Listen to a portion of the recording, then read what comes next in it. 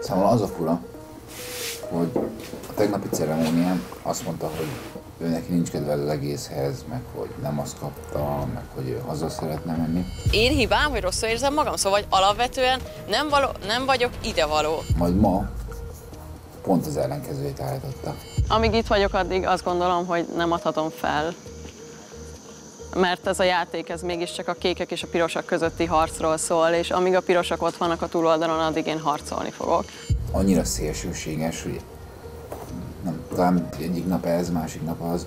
Én nem tudom, hogy minek hatására alakult ez így ki benne, hogy, hogy ennyire így ingázik. Nem tudom. Az első évadban is ilyen volt?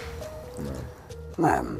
Nekem ezért furcsa, mert az első évadban annyira ment, és, és annyira élvezte, és, és tényleg hajtott, hajtott, szó szerint hajtott. És én tök reménykedtem benne, hogy most ugyanez lesz. És nem tudok más fejébe gondolkodni, de, de lehet, hogy rádöbbent arra, hogy ez nem egy exatlon most simán, hanem egy.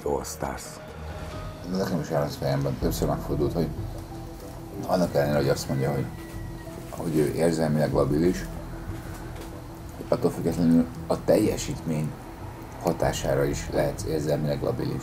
Tehát a, ha teljesítményed negatív irányba megy, akkor valószínűleg a teljesítményed hatására elindulhat egy érzelmi hullámvasút. És nem tudom, lehet, hogy saját magának se vallja ezt be, nem.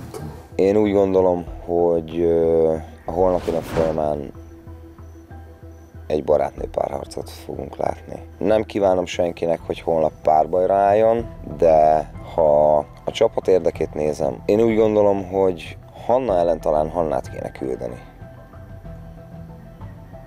De csak azért, hogy megvívja a saját harcát, amit, ahogy ő is fogalmazott, eddig nem vívott meg. Neki most saját magával kéne küzdenie.